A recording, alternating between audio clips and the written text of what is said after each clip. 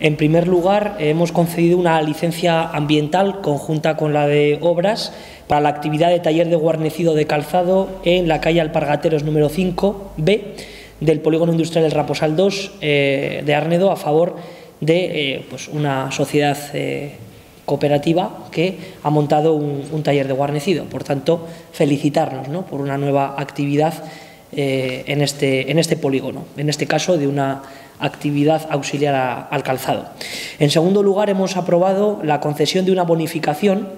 en el impuesto sobre construcciones, instalaciones y obras, lo que es el, el ICIO, del 50% para un local eh, destinado a un comercio en Juan Carlos I.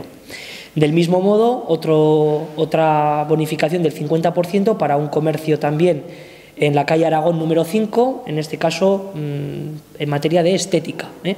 Y en tercer lugar, lo mismo, otra nueva bonificación del 50% en el licio para un comercio de decoración en Juan Carlos I, una reforma. Por lo tanto, bueno, pues tres, tres nuevas bonificaciones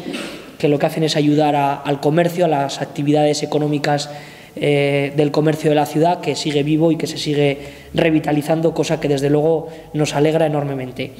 Hemos también aprobado la concesión de un fraccionamiento de varios recibos mm, por la vía ejecutiva eh, de un ciudadano de Arnedo pues que adeuda una serie de recibos de unos años y que se le ha aprobado un fraccionamiento para 35 plazos para que pueda eh, bueno, pues ponerse al, día con los pagos en el ayuntamiento. Recordar que bueno, si algún ciudadano tiene problemas en el pago de sus tributos, tenemos eh, la posibilidad de fraccionar los pagos y repito y recuerdo el tema del pago a la carta que en próximos días habrá una rueda de prensa de la concejala para recordarlo. También hemos, eh, hemos eh, aprobado la estimación de, un recurso de concesión de exención en el impuesto sobre bienes inmuebles eh, de naturaleza urbana, en este caso a Fundación Caja Rioja, que solicitó pues, que, que se le eximiera del pago del IBI en, sus, eh, en una propiedad que tienen en Avenida Cidacos, concretamente en la escuela infantil. Por lo tanto, lógicamente se ha estimado este recurso de concesión y eh, se, le ha, se le ha eximido del pago del IBI, como así lo refleja la ley.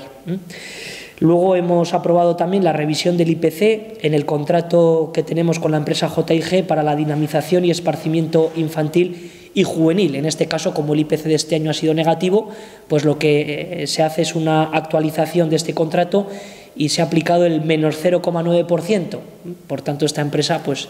cobrará un pelín menos por, este, por esta actualización del IPC, tal y como se refleja en el pliego de condiciones eh, que presidió esta contratación. Y por último, en materia de cultura, hemos aprobado eh, un convenio para la celebración del Día del Libro eh, con el APA, el AMPA de la estación.